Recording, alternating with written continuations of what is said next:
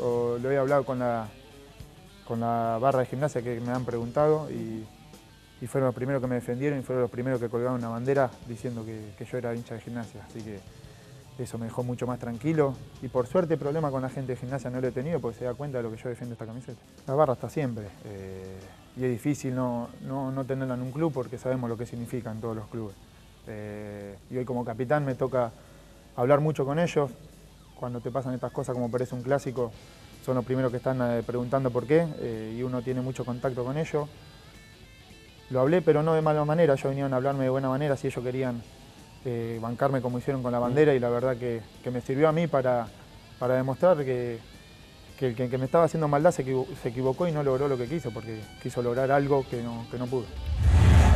Domingo a las 12